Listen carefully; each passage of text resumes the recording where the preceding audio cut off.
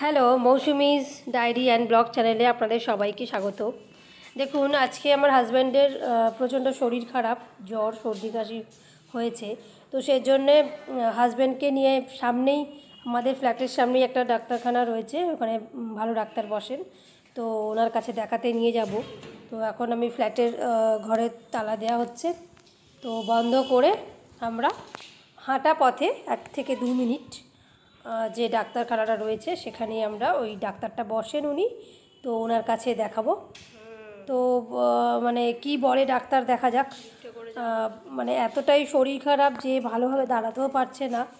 তো ওই জন্যে ঘরের কাছেই আর কি চেষ্টা করলাম ডাক্তারটা দেখানোর।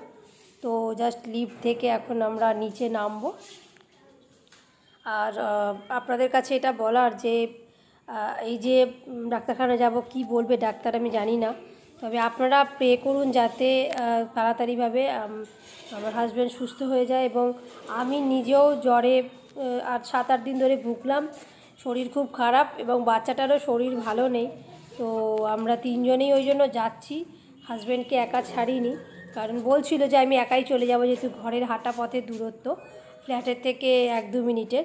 তো তবুও আমি ছাড়লাম না, কারণ যেহেতু শরীর খারাপ আর বলছে দাঁড়াতে পারছে না, মাথাটা ঘুরছে খালি temperature up down up down করছে, তো বুঝতেই পারছেন। একটা অসুস্থ মানুষকে কোনো একা ছাড়া উচিত না। আর সে যতই সেটা ঘরের কাছে হোক বা দূরে, তো আমি সেই জন্য হাজব্যান্ডকে সাথে করে নিয়েই ডাক্তারখানায় যাচ্ছি। তো দেখা যাক কী বলে। তো না দেখিয়ে তো ওষুধ খাওয়া যাবে না, তো সেই জন্য ডাক্তার কি প্রেসক্রাইব করে দেখে, তো তারপর আমরা ডিসাইড করব। যে কি করা হবে না হবে। তো এখন আমি ফ্ল্যাটের থেকে বেরিয়ে গেছি রাস্তা দিয়ে হাঁটছি। তো পেছনে আসছে হাজবেন্ড আর আমার মেয়ে এখন আহ, পেছনেই রয়েছে। তো মানে মন মেজাজ একদমই ভালো নেই বলা চলে।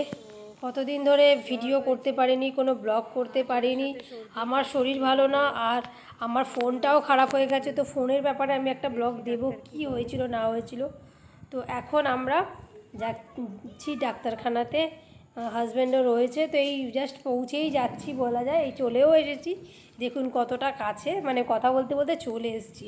আমি কিন্তু ভিডিও কোনো স্কিপ করিনি, তো চলে এসেছি, দেখুন এই যে ওষুধের দোকানটা, এখানেই উনি আর কি পাশেই বসেন। তো ওনার কাছে ভিজিট চারশো টাকা ভিজিট ওনার।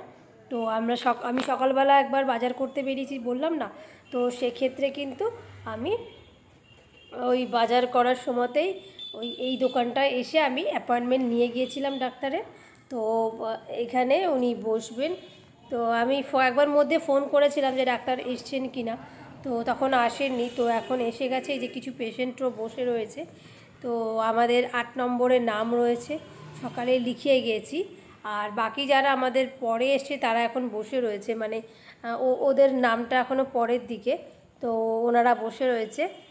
তো আমাদের যখন নাম ডাকবে তখন আমরা ভেতরে যাব। তো এখন একটু বসে আছি। আর আমার বাচ্চাটাকে বারবার বলছি যে বা মানে বাবার কাছ থেকে একটু দূরে থাকতে। কারণ ওর বাবার প্রচণ্ড জ্বর, বাচ্চাদের কিন্তু একজনের কাছ থেকে আরেকজনের জ্বরটা ধরে যায়। তো হাজব্যান্ডকে ডেকেছে, এখন হাজব্যান্ড ভেতরে চলে গেছে। আমিও যাব, যদি আমাকে অ্যালাউ করে তো। তো যাই হোক অ্যালাউ করেছে, তো আমি এখন ভেতরে ঢুকেছি। ডাক্তার কি বলছে এখন দেখি। ডাক্তার এখন চেক আপ করছেন। ওনাকে প্রচণ্ড সর্দি বুকে বসে গেছে। আর কদিন ধরেই একটু মানসিক চাপও ছিল বিভিন্ন কারণে। তো তার মধ্যে মানে সেই নিয়েই ডিউটি করছিল। কারণ ওদের আমার হাজব্যান্ড পুলিশ অফিসার তো পুলিশ অফিসারদের বুঝতেই পারছেন ওদের হেকটিক শিডিউল থাকে যেটা একদমই ছুটি পায় না। তো সেক্ষেত্রে সেই অসুস্থতা নিয়েও কিন্তু ডিউটি করতে হয়েছে। আর কি আর বলব? যে মানে ডিউটি করতে করতে শরীর খারাপ হোক, না হোক, তাদের কর্তব্য করতেই হবে। দেশের দশের জন্য তাদের খাটতেই হবে।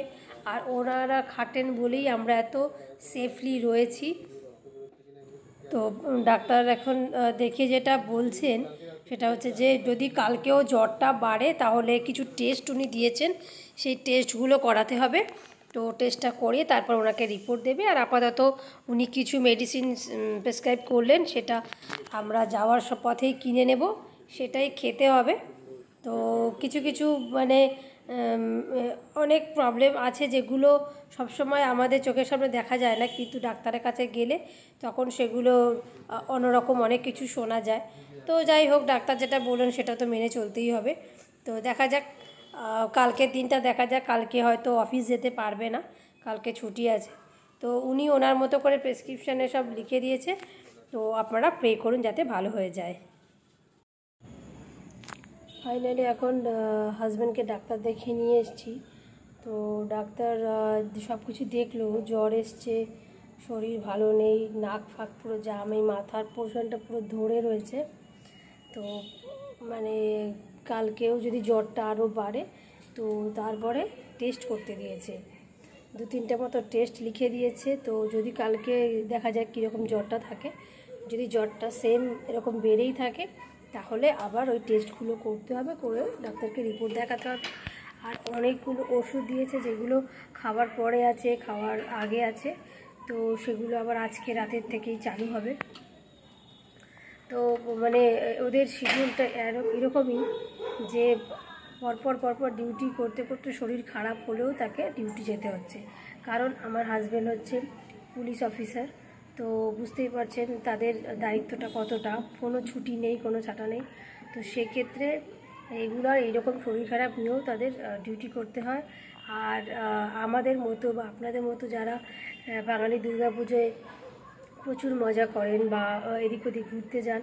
তো তাদের সেফটির জন্যে কিন্তু আমাদের হাজব্যান্ডের মতো পুলিশ অফিসাররা সবসময় তাদের ডিউটি থাকে অন ডিউটিতেই থাকে বলা যায়।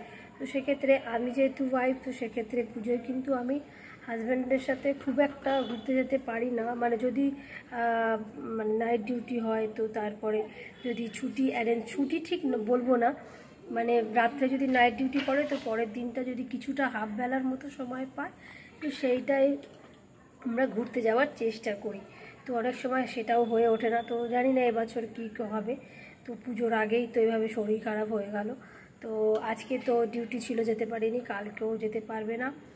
যা শরীর খারাপ, তো দেখা যাক কবে আবার ডিউটি জয়েন করে। তারপর তো পুজোয় জানি না কী হবে এবারে। তো দেখা যাক, আপনারা সবাই প্রার্থনা করুন যাতে আমার হাজব্যান্ড খুব ভালোভাবে এই মানে শরীর খারাপ থেকে উঠে খুব ভাবে, ভালোভাবে থাকে। শরীর খারাপ যেন তাড়াতাড়ি সেরে যায়। আর কি বলব, মন মেজাজ খুব একটা ভালো নেই। আর সব থেকে বড়ো কথা হচ্ছে, এই জাস্ট লাস্ট দু চার দিন আগের কথা বলছি। তো আমি ফোনটা ফিরে পেয়েছি। তো তার একটা বড় হিস্ট্রি রয়েছে যে আমার ফোনটা কি হয়েছে, না হয়েছে, সেটা আমি পরে বলব। তো দশ বারো দিন ধরে আমি নিজে জ্বরে পড়েছিলাম মানে জ্বর, সর্দি, কাশি, মাথা ধরা। আমার বাচ্চাটাও সাফার হয়েছে। তো শরীর আমারও খুব একটা ভালো নেই। তো এই পরপর আমি অসুস্থ হলাম, আমার বাচ্চাটা অসুস্থ হলো, আমার হাজব্যান্ড অসুস্থ হলো, বুঝতেই পারছেন, মন মেজাজ কারোর ভালো নেই। তো তবুও যেহেতু আপনাদেরকে নিজের বলে মনে করি, তো একটু শেয়ার করলাম। আপনারা একটুখানি আপনাদের কাছ থেকে আশীর্বাদ শুভ কামনা দেবেন যাতে আমরা সবাই তাড়াতাড়ি সুস্থ হয়ে ভালো হয়ে যাই। তো আর এই আকাশের অবস্থা দেখুন কীরকম।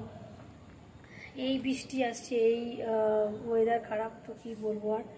তো আজকের এই ব্লগটা এখানেই শেষ করছি, কারণ আমারও আর এনার্জি নেই।